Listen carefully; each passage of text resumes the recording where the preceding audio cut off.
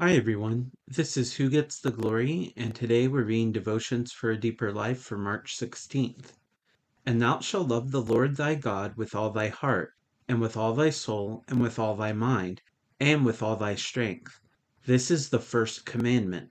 And the second is like, namely this Thou shalt love thy neighbor as thyself.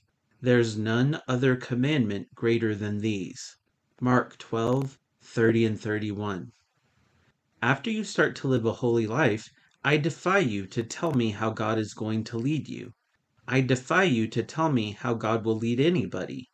We fall into great error when we get censorious and vindictive about other people's Christian experience. By meddling in their matters, we displease God. Let me raise a hypothetical situation. Suppose that you are entirely sanctified and so am I. God brings us into a crisis.